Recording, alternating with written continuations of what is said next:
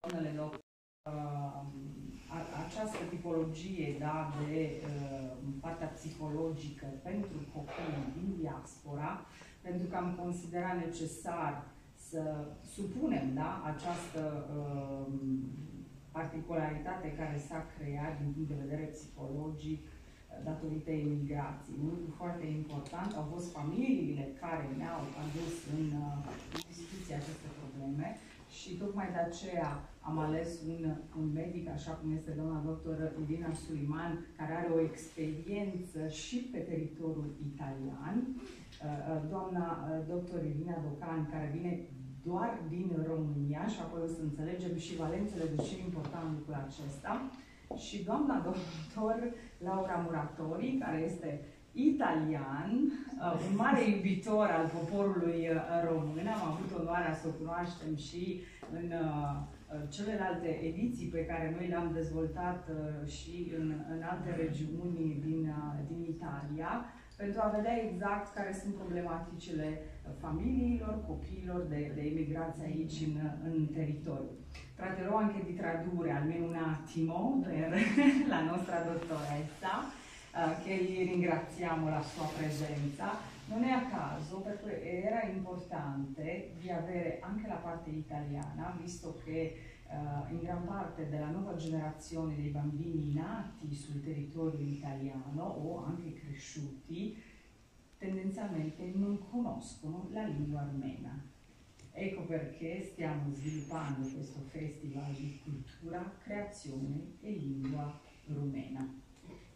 Sper că a fost clar pentru toată lumea mesajul. Bineînțeles că nu putea să nu fie acompaniat de mari noștri artiști pe care noi i-am descoperit aici. Știm că ei sunt foarte modești, dar ei sunt mari artiști și încep a prezenta pe domnul Dan Dumitru Crețu, soția Mariana Crețu.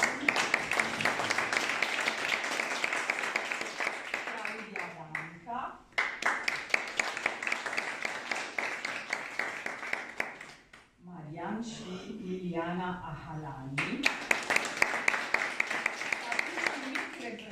Reprezentant al comunității noastre, Maria, care ne-a prezentat un, un program uh, important, aș spune, chiar de limba uh, română și atunci o să vedem exact concret ceea ce înseamnă dificultatea da, noi generații aici uh, crescute în teritoriu. Dar mai există și o altă surpriză, pentru că românii sunt foarte talentați aici în Italia, așa cum am început uh, foarte mulți ani când am început această ediție a uh, Românii au talent în Italia, am descoperit și un actor și o să o invit aici pe uh, Luminița Dia, actrița noastră româncă, aici în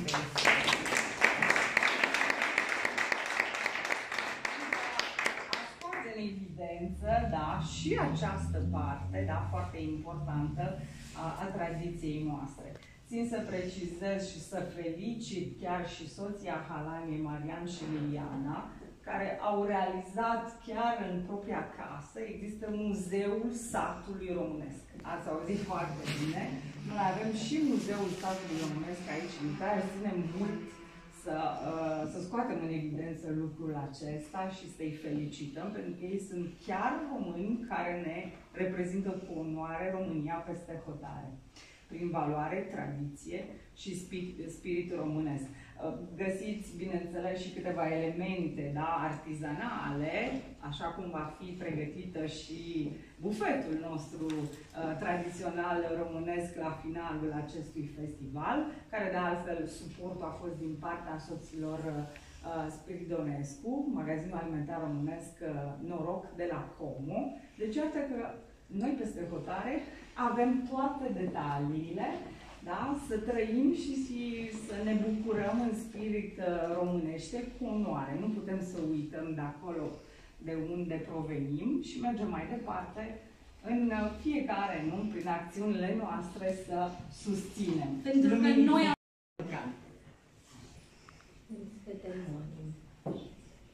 Uh, sănătatea noastră colectivă se deteriorează tot mai mult și putem să punem întrebarea ce putem face noi în acest sens.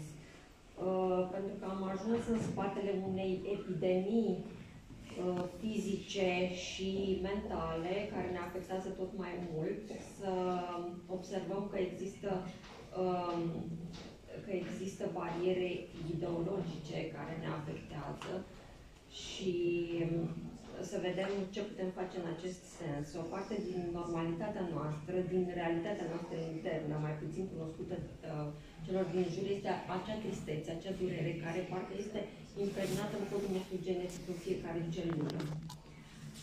Uh, și atunci, uh, în creierul nostru este acea parte ascunsă pe care gândurile noastre o vizitează tot mai des. Uh, atunci când uh, uh, trăim acest sentiment, de fapt, uh, sunt, suntem deconectați de la realitate și nu mai trăim acea bucurie, acea stare de prezență. Avem în codul nostru genetic această conexiune cu bucuria, pentru că uh, uitați-vă la un copil. Un copil mic este bucuros, nu? Nu putem spune că nu este bucuros. Ne uităm la el și copilul transmite această bucurie. De fapt, noi am pierdut conexiunea, conexiunea cu noi, conexiunea cu această stare, această stare de prezență. Și atunci ce putem face în acest sens? Este să putem să ne observăm, să avem un moment de reflexie, noi cu noi, și să observăm de unde vin aceste lucruri. Vin din traume, din traume anterioare, din experiențe trăite, experiențe neplăcute. Și uh, ce am putea să facem este să uh, am fost învățați să trăim așa. Să considerăm că stresul este normal, este normalitate și uh, ar trebui să mergem înainte. Uh, putem să facem diferența între o traumă și o migrenă. Da? Deci uh, mergem la medic, se dă o pastilă, dar nu suntem atenți la ceea ce simțim, la ceea ce trăim și am putea să fim mult mai atenți. De exemplu, o mamă poate considera uh, o, un cumul de emoții drept instinct și atunci devine foarte protectivă cu copilul ei și spune că ăsta este instinctul mater, dar de fapt de fapt, uh, dacă ar putea să aibă un moment de reflexie, să se gândească anterior care au fost uh,